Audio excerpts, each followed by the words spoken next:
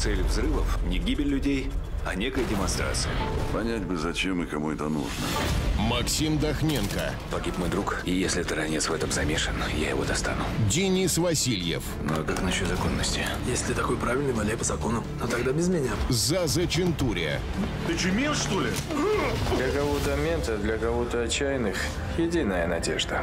Эдуард Флеров, Деньги уберите, иначе я буду вынужден задержать вас за попытку дачи взятки должностному лицу. адмиралы района. А вы та самая группа оперативно-экспериментальная.